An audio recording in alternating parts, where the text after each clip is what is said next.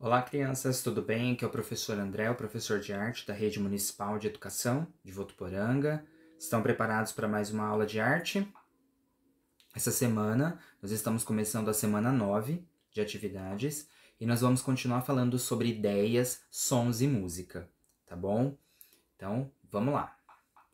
Antes da gente começar, é importante que a gente revise ou relembre aquilo que a gente aprendeu na semana passada, tá bom? Semana passada a gente aprendeu um pouquinho sobre o som grave e o som agudo. Para quem não se lembra, som grave é aquele som igual do trovão, um som mais grosso, mais encorpado. E o som agudo é aquele som mais longo, mas é aquele som mais fino que a gente ouve. Então pode ser até, por exemplo, como a gente deu na aula passada, o trem, o barulho do trem, ele é um barulho agudo. E o exercício da aula passada pedia para os alunos identificar qual som grave, qual som agudo de alguns objetos que vocês tinham em casa. O professor recebeu cada vídeo maravilhoso, ó. Vocês estão de parabéns. E o que, que nós vamos estudar essa semana? Nós vamos estudar os sons longos e também os sons curtos. Então, o que, que será que é esse som longo e o que, que será que é o som agudo, tá bom? Para acompanhar a aula de hoje, é importante que você pegue a sua apostila lá na página 42 e 43, tá? Nós vamos ler um pouquinho sobre o que, que é esses tipos de sons, tá bom? O que, que é, então são os sons longos? Alguns sons, eles se prolongam e demoram para acabar. Esses sons são sons longos. Quando gritamos num parque de diversão, por exemplo, estamos produzindo um som longo. Então a gente vai ouvir a produção desse som longo, como é. Olha lá. Presta bastante atenção, hein? Você sabe como é um som longo? Um grito pode ser longo, assim.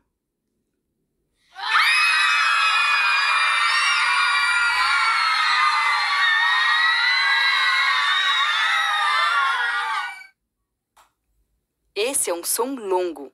Que outros sons longos você conhece? Então, repararam como é esse som longo? O som do grito, por exemplo, é um som longo.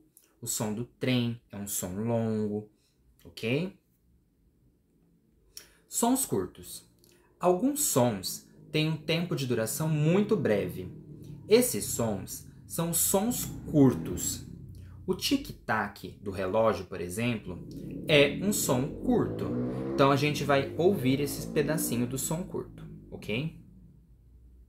Você sabe como é o som do tic-tac do relógio? É assim.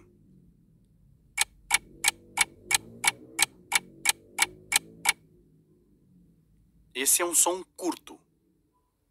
Que outros sons curtos você conhece? Né? O som do tic-tac é o som mais conhecido, né, dos sons curtos, né? Porque ele é muito breve, ele é bem curtinho, ele começa e termina, começa e termina bem rápido, né? E existem outros sons, eu quero saber quais que vocês conhecem, que são curtos. Por exemplo, o piado, o miado, o latido, eles são sons curtos. Hora da atividade da semana. Essa semana a gente vai fazer uma coisa que já era pra gente ter feito desde a semana 7. A gente vai criar símbolos, tá bom? Cada tipo de som a gente vai fazer um símbolo diferente. Então a gente já aprendeu sons longos, sons curtos, grave, agudo, é, fraco e forte.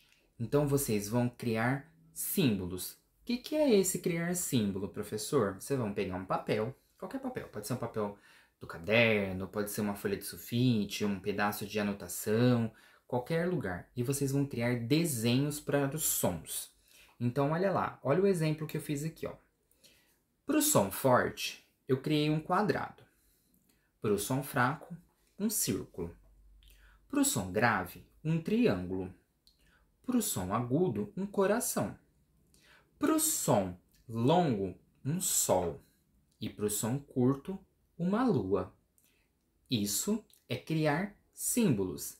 Então, cada um de vocês vai usar a criatividade para criar símbolos para os sons que vocês aprenderam.